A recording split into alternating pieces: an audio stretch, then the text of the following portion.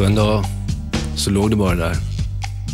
Det där brevet med Försvarsmakten som avsändare. Jag blev alldeles kall. Sen började jag tänka. Försök tänka klart, tänkte jag. Och tänkte inte alls speciellt klart. Då ringde det på dörren. Det var Benjamin. Han hade fått ett likadant brev. Vi skulle inställa oss för tjänstgöring inom en vecka. Vi låste in oss i min lägenhet den veckan och försökte tänka klart.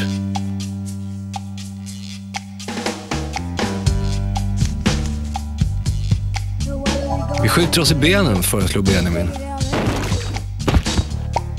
Eller hugger armarna av oss.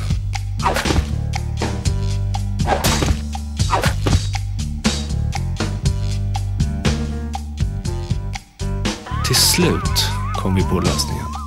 Dagen vi skulle infinna oss tog vi en taxi till regementet.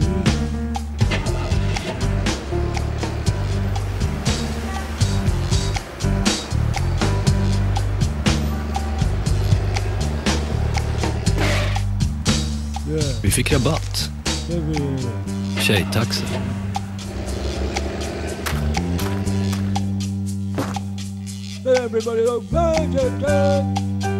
Vi är små tjejer, skrek vi allt vad vi orkade under uppropet. Vi blev genast inkallade till Major Blixt.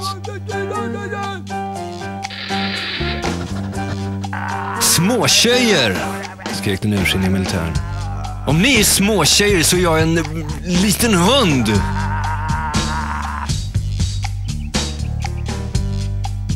Sen fick vi stanna inne på officersmässan i våra klänningar.